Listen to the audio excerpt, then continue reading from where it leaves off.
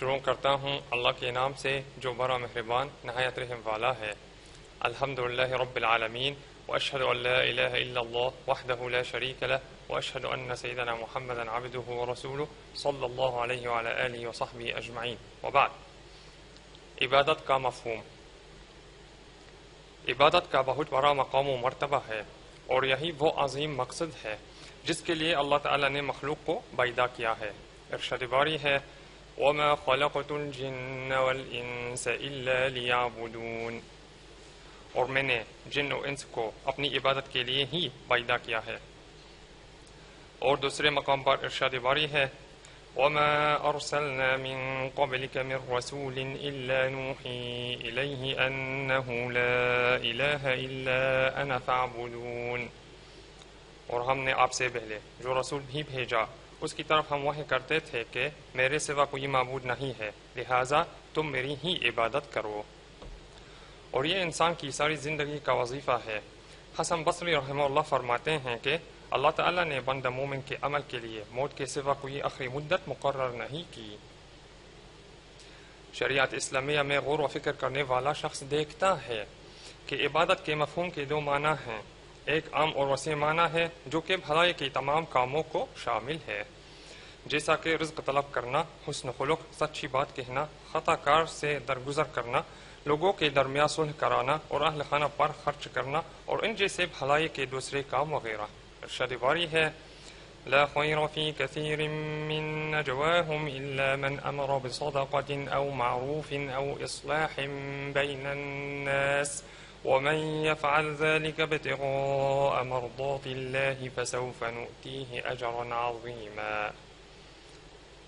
उनकी अक्सर सरगोशियों में कोई भलाई नहीं बजूज उसके जो सबका देने का या नेक काम का या लोगों के दरमियान सुलह कराने का हुक्म दे और जो शख्स ये काम अल्लाह ताला की रजामंदियाँ हासिल करने के लिए करे तो हम उसे अजर अजीम अता फरमाएंगे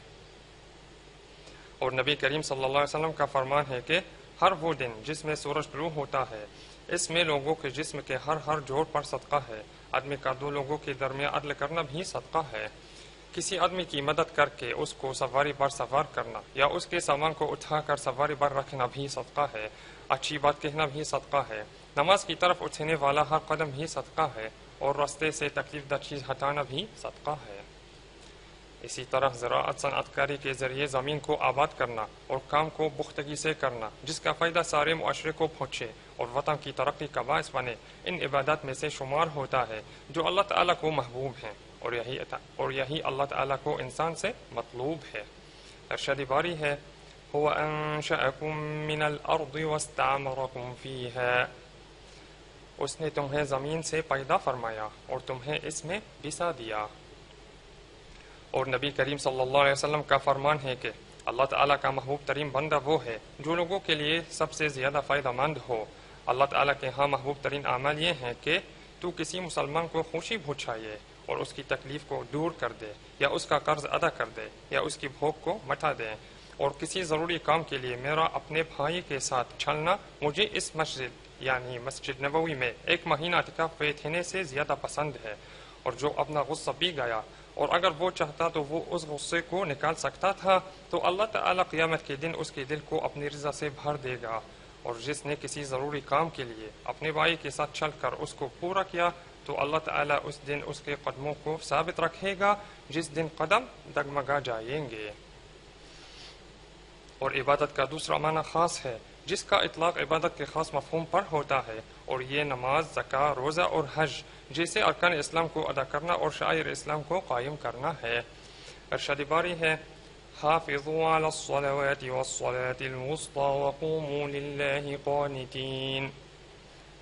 पाबंदी करो सब नमाजों की और बिलखसूस दरमानी नमाज़ की और अजीज़ी करते हुए अल्लाह के लिए खिरे रहा करो।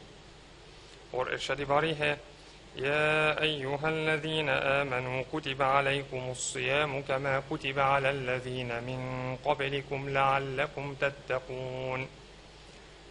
ए ईमान वालो तुम पर रोज़े फ़र्ज किए गए हैं जैसा कि तुमसे पहले लोगों पर फ़र्ज किए गए थे ताकि तुम परहेजगार बन जाओ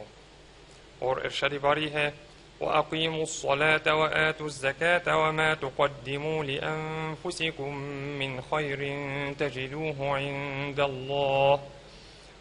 और नमाज कायम करो और जका अदा करो और तुम अपने लिए जो भलाई भी आगे भेजोगे उसे तुम अल्लाह के यहाँ पाओगे और इरशाद बारी है